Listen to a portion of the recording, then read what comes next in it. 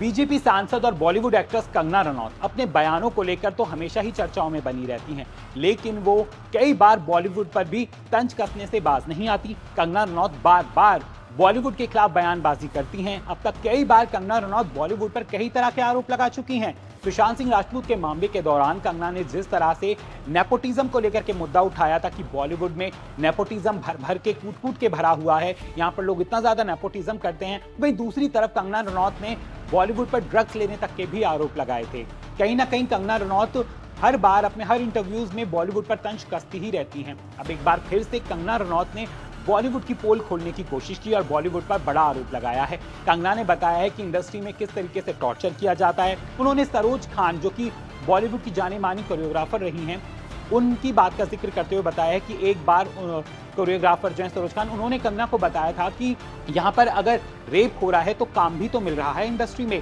तो इस तरीके की चीज़ें होती हैं और कंगना को जब ये बातें पता चली तो काफ़ी ज़्यादा शॉक हुई थी, क्योंकि तो बॉलीवुड में आपको पता ही है कि कई बार वो कास्टिंग काउच को लेकर भी खुलासा कर चुकी हैं और अब एक बार फिर उन्होंने बॉलीवुड की पोल खोलने की कोशिश की और बॉलीवुड पर तंज कसा है। कंगना रनौत ने क्या कहा है बॉलीवुड को लेकर? अब चलिए आपको बताते हैं।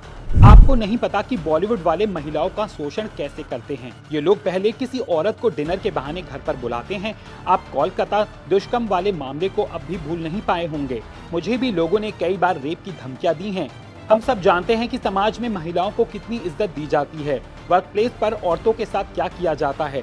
कॉलेज के लड़के लड़कियों पर भद्दे कमेंट करते हैं। बॉलीवुड सितारे भी किसी से कम नहीं होते हैं। कंगना रनौत ने आगे कहा, ये लोग हमारे साथ ऐसे ही बर्ताव करते हैं। एक बार सरोज खान ने कहा था कि इंडस्ट्री वाले बलात्कार तो करते हैं, लेकिन साथ ही साथ रोटी भी देते हैं। ये बात पूरी तरह से सच है। अगर आप उनकी बात नहीं मानोगे तो आपको धमकियाँ दी जाती हैं। तो देखा आपने, कंगना रनौत ने एक बार फिर से बॉलीवुड पर काफ़ी गंभीर आरोप लगाया है और उन्होंने सरोज खान की बात का ज़िक्र करते हुए कहा है कि सरोज खान ने कहा था कि अगर यहाँ पर रेप किया जाता है तो रोटी भी दी जाती है।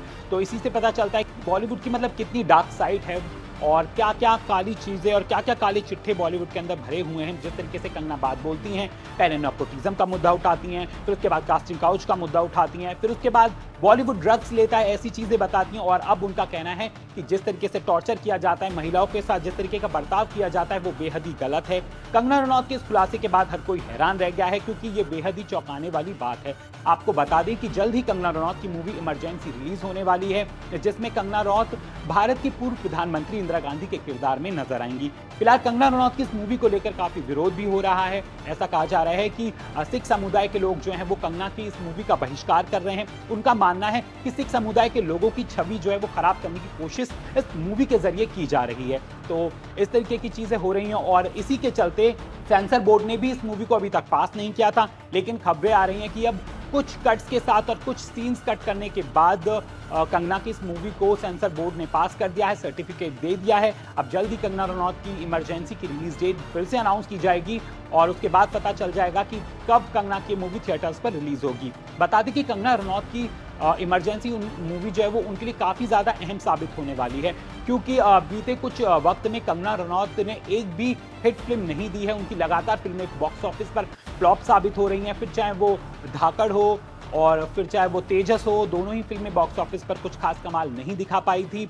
लास्ट उनकी मूवी मनी का तो क्वीन ऑफ़ झांसी जो थी 2019 में आई, वही थी बॉक्स ऑफ़िस पर जो एवरेज साबित हुई थी, जिसने ठीक ठाक कलेक्शन किया था।